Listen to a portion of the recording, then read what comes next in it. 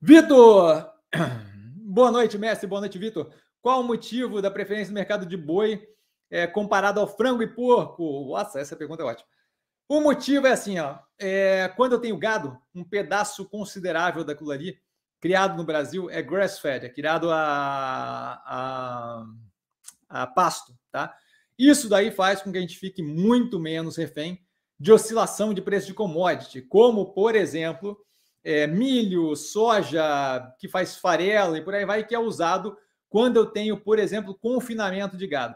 Confinamento de gado no Brasil é comparativamente muito menor do que o gado criado a pasto, de modo que eu não tenho minha margem pressionada com a oscilação de commodities. Esse é o primeiro ponto. Tá? Segundo ponto é que eu tenho uma operação ali de, de frango e porco que é feito em grande parte de uma forma dissociada do, da, da, da, operação. É, é uma forma em parceria. Tá? A BRF, por exemplo, ela, ela muitas vezes cede o alimento e bababá, não sei o que, para o granjeiro, e aquilo ali oscila de uma forma que acaba espremendo margem ou expandindo margem de uma forma extremamente agressiva devido à volatilidade que a gente tem em preço de soja, milho e por aí vai. Isso acontecendo, eu tenho toda uma dinâmica entre sobrevivência e falência de granjeiros que afeta diretamente a minha operação no, na, na, ponta final, que é a ponta que me interessa, por exemplo, a BRF. 2017 aconteceu justamente isso.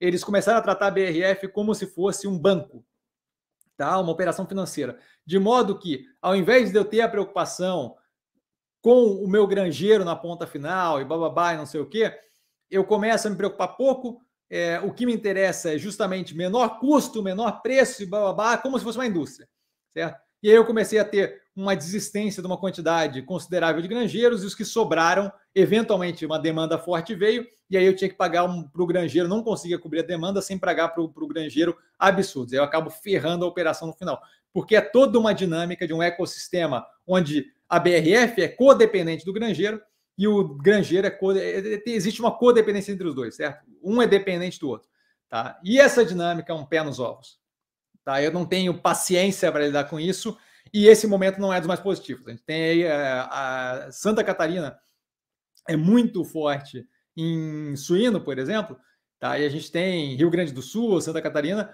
eles perdendo ali 100, 150 reais por animal, tá? Então os granjeiros estão numa situação bem apertada. Agora acabou de sair o número é, de exportação de frango batendo recorde, mas ainda assim, o, a exportação do animal batendo recorde não quer dizer que propriamente a operação está indo bem. Vide BRF. Tá? O mercado de gado, é, além do alinhamento momentâneo ser muito positivo, dado que eu tenho um mercado doméstico de consumo muito pressionado, tá? O, o, o, eu, eu não consigo, nos preços de hoje do, do animal, passar para o mercado local, isso daí faz o quê? Isso daí cria uma dinâmica que segura a arroba muito lá, muito mais embaixo do que ele deveria estar, com base, por exemplo, em exportação e boi China. Tá? De modo que o preço é definido por um mercado doméstico que está deprimido, o custo fica barato, e a operação que a gente está comprado, que é a Minerva, vende basicamente para exportação, que tem uma demanda forte, que está pagando preços muito violentos pela, pela, pela, pelo, pelo gado. Essa dinâmica faz com que eu pague barato no produto que eu estou vendendo e venda lá no topo, como se estivesse explodindo, a... como, como se não tivesse animal sobrando no mercado, o que eleva minhas margens e faz com que a operação da Minerva tenha trimestres como esse que a gente teve agora, tá? Muito positivos.